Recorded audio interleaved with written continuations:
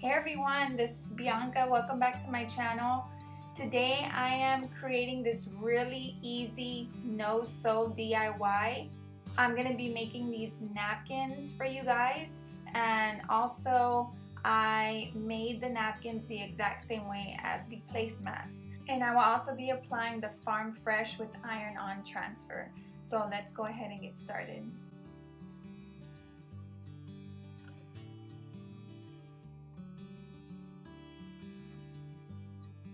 Okay guys, so all you need is your fabric, your measuring tape, and your scissors. Just three things to make these easy napkins. Um, I got this idea from On Sutton Place blog and I want to give her the credit for that idea. So I will link her blog in the description box below. Okay, so once you have your piece cut out, you want to go ahead and cut a small piece right here I'm going to show you that with the scissors. Just a tiny little piece.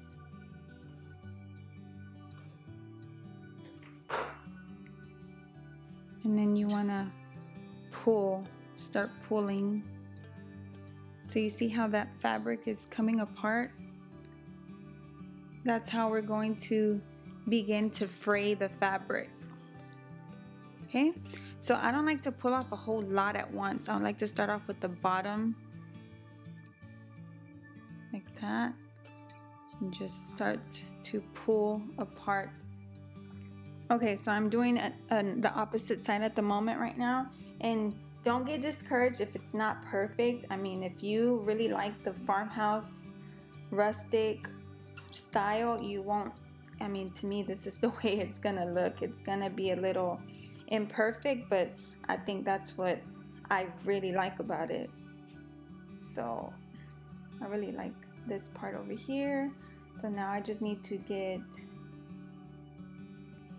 this part even with this side.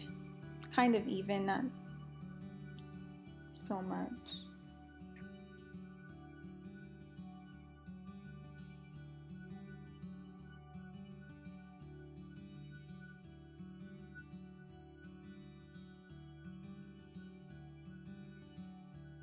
Okay, so as you can see, I have this side done and this side. And trust me, it is not perfect. This is my first time doing this, so I knew it wasn't gonna be completely perfect, but that's that's fine. Um, I really like it the way it's coming out. So now I just need this side and the opposite side. So I'm gonna zoom in and show you what I started to do. Um, I just started to pull on this part and it just started to come apart. So this side is much easier, I guess, because of the way the threading is.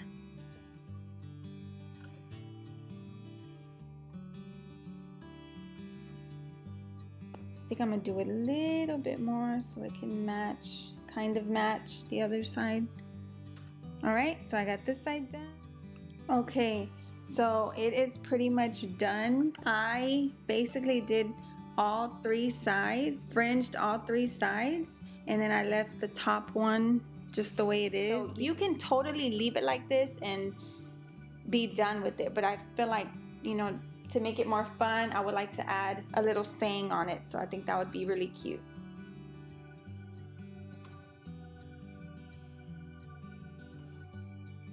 Okay guys, so I created this on PicMonkey and I will link this in the description box below if you want to go ahead and use that or you can go online and find something that you like and use that. So um, it's up to you. So just use that and I'm gonna print it out on my iron-on transfer paper and then we will apply it to the, the napkin. Once you have your label saved to your computer, you're gonna go to the Avery website, apply it here, and then it will automatically flip it the opposite way that when you do iron it on, it is actually the right way. So I'm just gonna bring it up on here and then print it out.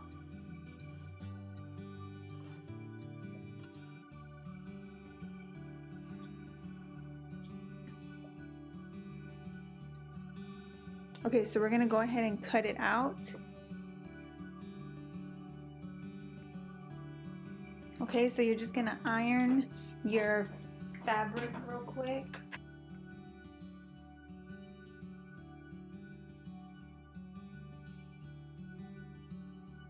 and then you're just going to begin to iron it on on this Avery transfer paper there's complete instructions on there and it just says to go over it really slowly from left to right and from top to bottom uh, for about 20 seconds each and that should be good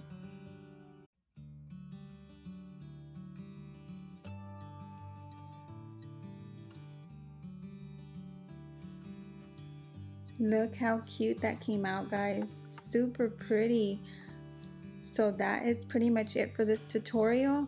If you have any questions or comments, just let me know in the comments below. I also did a placemat as well in this fabric. I just did the exact same thing with the fringing on ends of the fabric. If you like these type of videos, guys, just let me know and also please subscribe.